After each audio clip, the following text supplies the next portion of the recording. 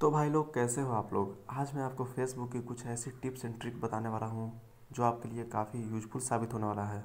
और मज़े की बात यह है कि पूरे यूट्यूब पर आपको इस टॉपिक पे कहीं भी वीडियो एक भी वीडियो नहीं मिलेगी। ये आप सर्च करके देख सकते हो। तो मैं आपको पहला ये बताने वाला हूँ कि आपने जब से फेसबुक यूज़ करना स्टार्ट किया है, तब से लेके आज तक आपने कितने लोगों को फ्रेंड रिक्वेस्ट भेजा है? तो चलिए वीडियो को स्टार्ट करते हैं बिना टाइम को गवाए हुए। तो पहले आप अपने फेसबुक को ओपन कर लीजिए। फेसबुक के ओपन करने के बाद सेटिंग एंड प्राइवेसी पे क्लिक कीजिए। इस पर क्लिक करने के बाद सेटिंग पे क्लिक कीजिए।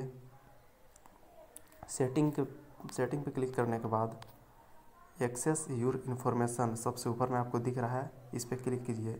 ये काफ़ी बेहतरीन ऑप्शन है। इस पर क्लिक करने के बाद जितने भी आपके सामने लिस्ट आते हैं, ये सब काफ़ी यूजफुल है। और इन सब के बारे में आपको नॉलेज हो जाए तो फेसबुक आपके लिए और भी इंटरेस्टिंग हो जाएगा।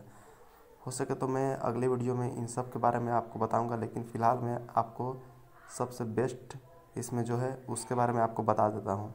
तो ये जो फ्रेंड आपके, आपको सबसे ऊपर में फ्रेंड दिख रहा है, इस पर क्लिक करेंगे। इस पर क्लिक करने के बाद आपको चार ऑप्शन खुल जाते हैं। फ्रेंड इसमें आपके फेसबुक पे जितने फ्रेंड हैं, वो सब आपको शो करेंगे।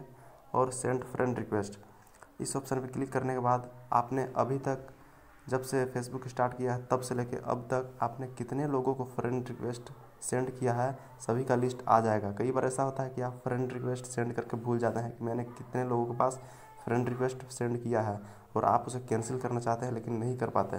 तो आप इस पर क्लिक करके आप देख सकते हैं कितने लोगों के पास आपने फ्रेंड रिक्वेस्ट अब तक भेजा है रिसीव फ्रेंड रिक्वेस्ट इस पर आप क्लिक करके ये देख सकते हैं कि आपने कितने लोगों को फ्रेंड रिक्वेस्ट रिसीव किया है।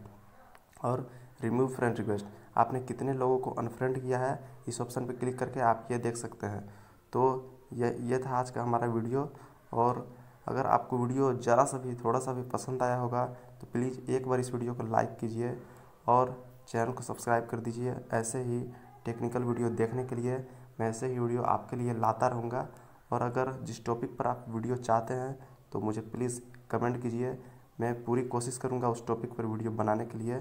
Thanks for watching this video.